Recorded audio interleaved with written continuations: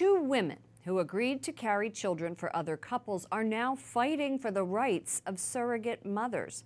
They're asking the Supreme Court to weigh in on surrogacy. Correspondent Jason Calvi spoke to one of them and brings us her story. To be able to just buy a child because you have the money, that's scary. Tony Bear of Muscatine, Iowa signed a contract in 2016 to carry another couple's unborn children. But while pregnant, she had second thoughts. I was told that I should be saying yes, ma'am. I was told that I had to get permission to go to doctors. And then a couple days later, I was called the N word. They treated me like I was a slave. she gave birth to twin baby girls. One died shortly after birth. The other baby is almost two and is being raised by the couple in Cedar Rapids. In 2016, the couple sued Tony for violating the contract, and a court ruled her parental rights never existed.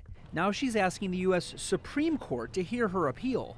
Her attorney says lower courts have never ruled on surrogacy itself, they treat it as a contract. No civilized society can treat a woman as an inanimate object or expect a mother to ignore her natural moral duty to her child. It is asking far too much of any woman to demand that she ignore the love and bond she has with the child. Tony says mothers should have the right to change their mind. She misses her baby girl.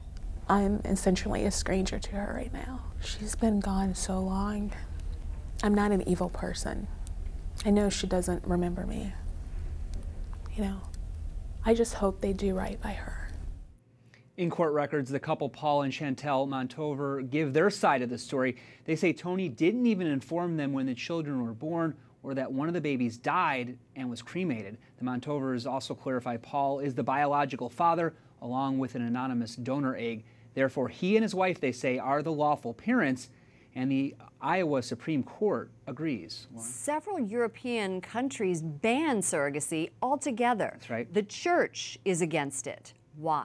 The Catechism says that you cannot separate. You know, it's gravely immoral to separate sexual acts from procreation in marriage. And, and the church teaches that a child has the right to be born of a father and a mother known to him or her and bound to each other by marriage. Jason Calvi, thank you so much for that report.